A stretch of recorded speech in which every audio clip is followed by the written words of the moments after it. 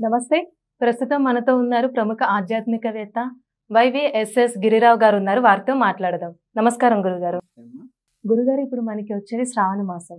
అంటే శ్రావణ మాసంలో ప్రతి ఒక్క వారానికి ఏదో ఒక విశిష్టత అనేది ఉంటుంది.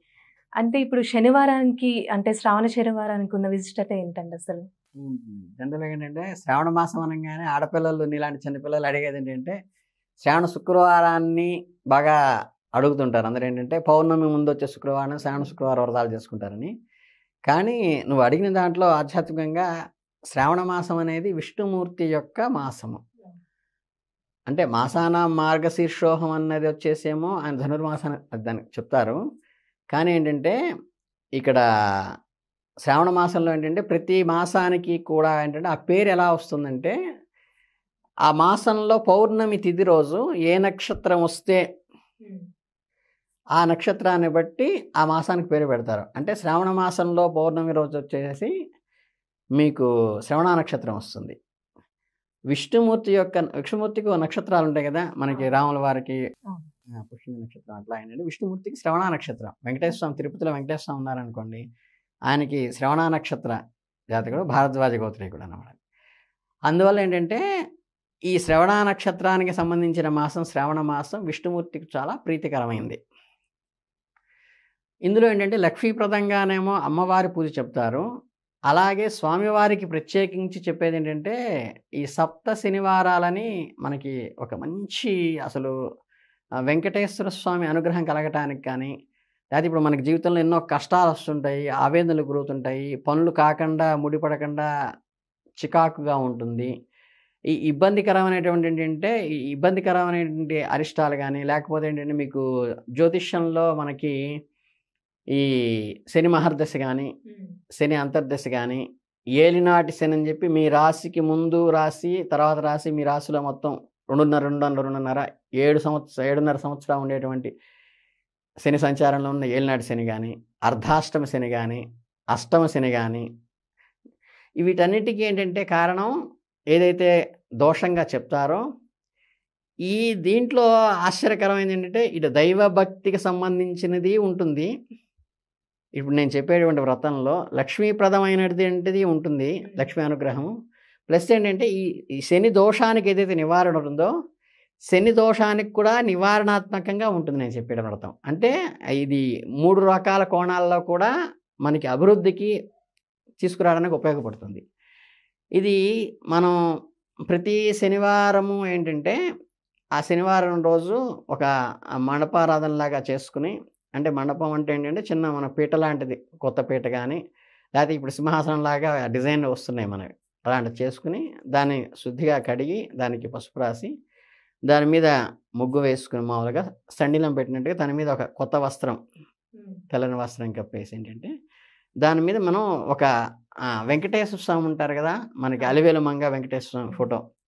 అది మన కొత్త ఫోటో కొనుక్కొని ఏంటంటే ఆ స్వామివారిని అక్కడ ప్రతిష్ఠ చేసుకోవాలి.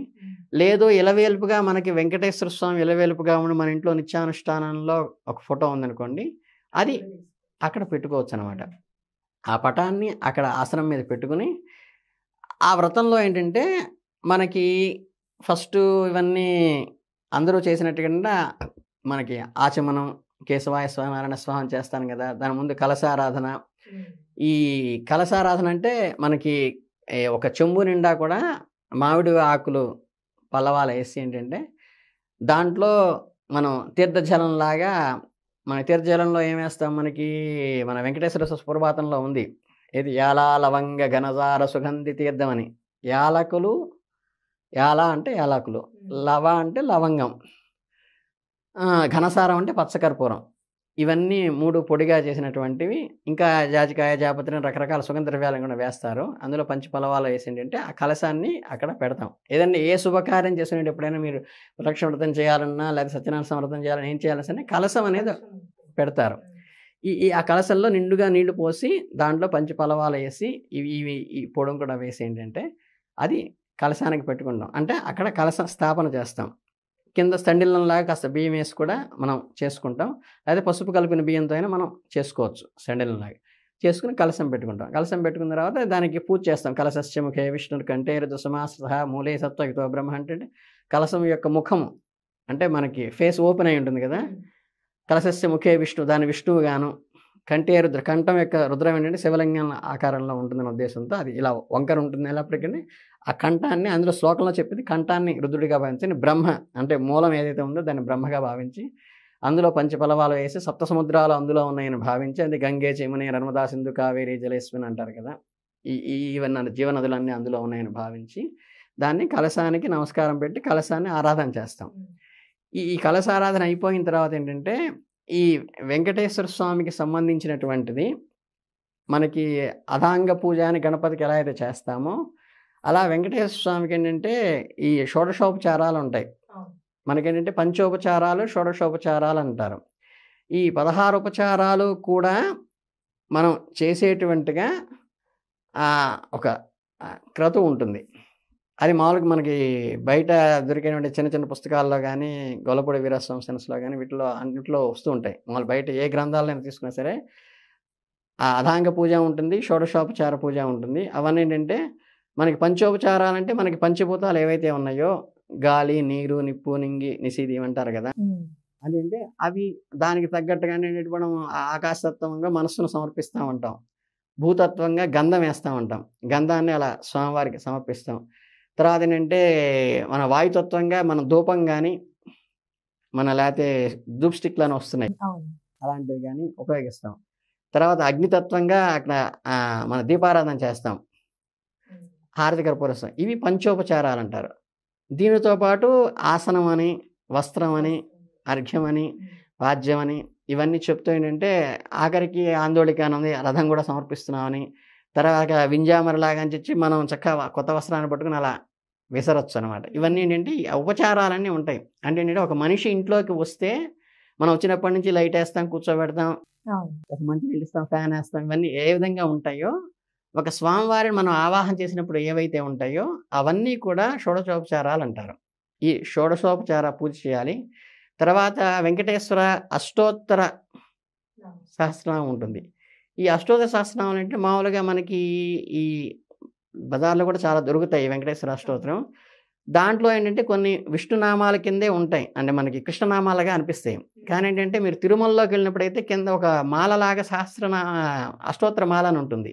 చిన్న చిన్న మనకి వీళ్ళుంటారు ఆడవాళ్ళు కనుక వేసుకుంటారు చూసారా? చిన్న చిన్న కాసుల. పేరులాగా.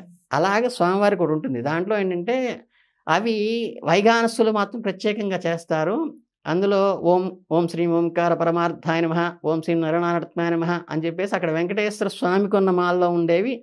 అవి ప్రత్యేకంగా స్తోత్రాలు కొన్ని పుస్తకాలు స్పెషల్ బుక్స్లో దొరుకుతాయి. అవి తీసుకుని అవి చేస్తే దీనికన్నా మామూలు అష్టోత్తరం కంటే కూడా అది ప్రశస్తం.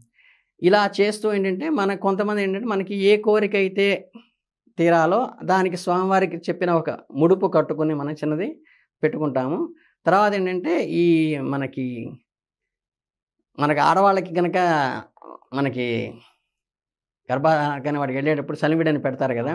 అంటే బియ్య పిండిలో కాస్త బెల్లం కలిపేసేసేసి ఒక పిండితో చేసేటువంటి ఆ పిండితో ఏంటంటే మనం చేసుకుంటే ఒక రెండు దీపారాధన లాగా చేసేసుకుని అందులో ఏడు ఒత్తులు ఒక దాంట్లో నాలుగు ఒక దాంట్లో మూడు ఒత్తులు వేసుకునవటం కానీ లేకపోతే లేకపోతే ఏడు కుందులు చేసేటంటే ఆ ఏడు కుందుల్లో కూడా ఏడు ఒత్తులు వేసుకు చేసుకోవడం కానీ లేకపోతే ఏంటంటే మనం చేస్తే ఏంటంటే ఒక ఒక పెద్ద కుంది చేసుకుని దాంట్లోకి ఏడు ఒత్తులు వేసేసి మెలివేసేసి చేసుకుని అందులోకి నువ్వుల నూనె పోస్తారు. ఈ నువ్వుల నూనె ఏంటంటే ఈ ఒత్తులు కానీ నువ్వుల నూనె కానీ శని దోషాన్ని నివారణ చేస్తాయి. శని దోష నివారణకి నువ్వులు ప్రధానం. అక్కడ మనం స్తోత్రం చేస్తుంది ఎవరు? వెంకటేశ్వర స్వామిని. అంటే ఏంటంటే మనకి వెంకటేశ్వర సుప్రభాతంలో ఈ గ్రహ పీడలన్నిటినీ కూడా ఆయన నలిఫై చేసేస్తారు. అంటే ఏంటంటే స్వామి అనుగ్రహం ఉంటే ఈ గ్రహ బలం ఏమీ చేయదనేది కూడా శాస్త్రీయంగా ఉంది. కనుక ఏంటంటే ఈ పూజ చేసినప్పుడు ఈ షోడశోపచారాలు కలశాన్ని పెట్టుకుని వెంకటేశ్వర ప్రతి పెట్టుకుని మనకి ఏదైనా ఒక అవయవానికి ఏదైనా దోషం ఉన్నప్పుడు కూడా మనకి వడ్డీ కాసులు వాడని చెప్పి అక్కడ తిరుపతిలో ప్లేట్లో పూర్వం పెట్టి అమ్మేవాడు చెవులు ముక్కులు కళ్ళు ఇవన్నీ ఉంటాయి కదా. ఆ ఏ అంగానికైతే మనకి దోషం ఉందో లేకపోతే ఏదైతే అనారోగ్యంతో బాధపడుతున్నామో ఆ అనారోగ్యానికి సంబంధించినటువంటి తిరుపతిలో దొరుకుతాయి వడ్డీ కాసులని. అవి తీసుకొచ్చి అది కూడా అక్కడ పూజలో పెట్టి పూజ చేసుకుని తర్వాత ఈ ఈ సప్త శనివారాలు అంటే ఏంటంటే ఒక ఏడు శనివారాలు కంటిన్యూగా ప్రతిసారి చేసుకోవాలి. అంతే.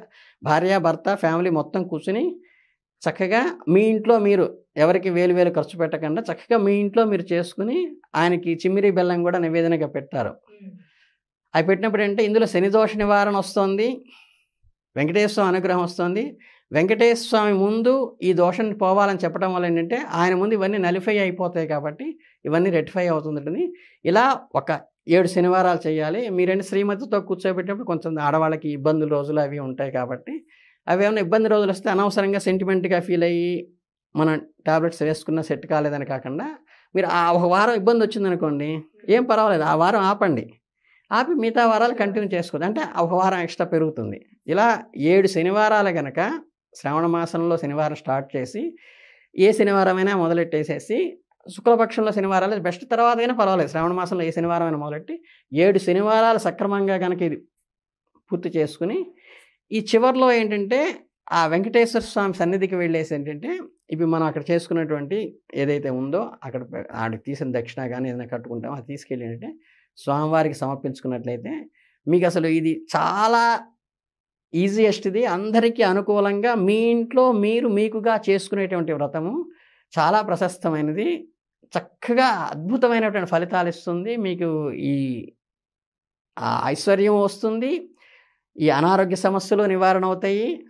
ప్లస్ ఏంటంటే మీకు ఈ శని పీడ నివారణ అష్టమ శని కానీ అర్ధాష్టమ శని కానీ లేకపోతే ఏలినాడు శని కానీ ఇవన్నీ కూడా నివారణ. జస్ట్ ఈ చిన్న అంత అంత కలిపితే కూడా ఒక మన నలభై నిమిషాలు నలభై నిమిషాల్లో పూజ అయిపోతుంది. సక్రమంగా చేసుకుంటే చాలా ఉపయోగపడుతుంది చాలా వృద్ధిలోకి వస్తుందని చెప్పి మీ అందరికీ చిన్న విషయాన్ని తెలియజేస్తున్నాను. చాలా చక్కగా వివరించారండి. ధన్యవాదాలు. చూసారు కదండి అంటే శ్రావణ శనివారం రోజు వెంకటేశ్వర స్వామికి ఏ విధంగా పూజ చేయాలో గురుగారు చాలా చక్కగా చెప్పారు కదా. ఇలాంటి విశేషమైన అంశాలతో మళ్ళీ మీ ముందుకు వస్తాం. ధన్యవాదాలు.